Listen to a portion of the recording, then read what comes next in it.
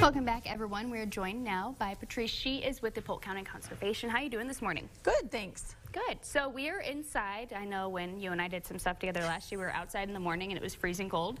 Uh, thankfully, we're inside now. But even though it's freezing and really cold outside, you guys are still have plenty of events going on for people to do, especially even this afternoon for kids. Right, exactly. So this afternoon we're doing something called After School Outdoors, and it's kind of taking off of the some of the school systems who have the early dismissal on Wednesdays, which mm -hmm. next year will be different. Yep. Um, but just realizing, okay, what are those kids doing after school? Um, and so trying to give them an alternative to do and something active outdoors.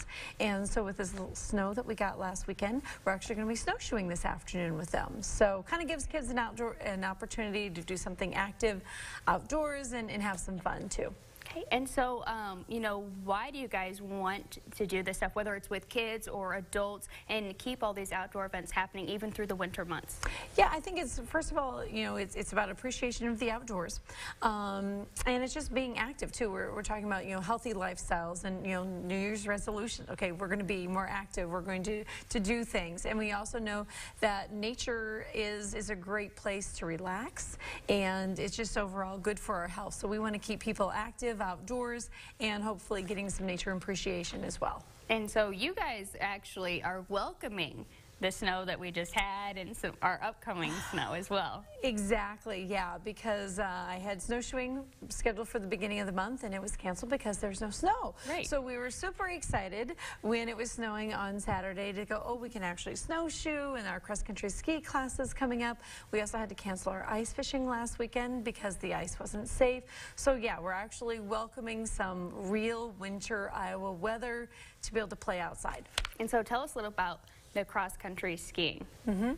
Yeah, so we actually rent uh, cross-country skis and snowshoes out at Jester Park. But we also hold classes too.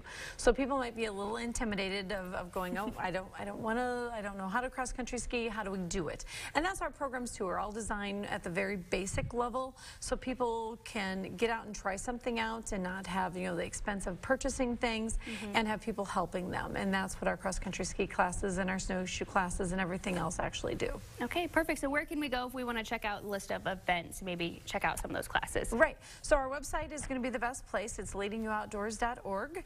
Um, and so there's a whole listing there of our calendar. We've got everything all through April, all kinds of activities. If you're if you've got toddlers, we've got things out at the Nature Center for young kids.